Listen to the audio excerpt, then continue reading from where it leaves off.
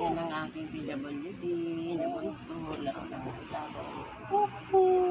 Sabihin mo, magandang tanghali. Magandang hali po. Ay, mga laruan, lupit.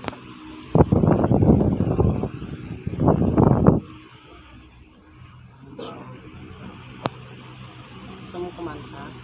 Hmm, nga. Ayan, busy pa siya. eh. Yan. Dito lang siya sa kwarto. Alos maghapon yan naman ginagawa niya. Tapos, tablet. Nasaan ang tablet? Kasi yung magkakupong charge para i-charge natin. Kasi mamaya, Meron po kumalit. meron pa. Kasi pag nagsawa ka, di ba, magpapalit ka ng tablet. Sige, babay ka na. Okay po. Okay. Smile naman.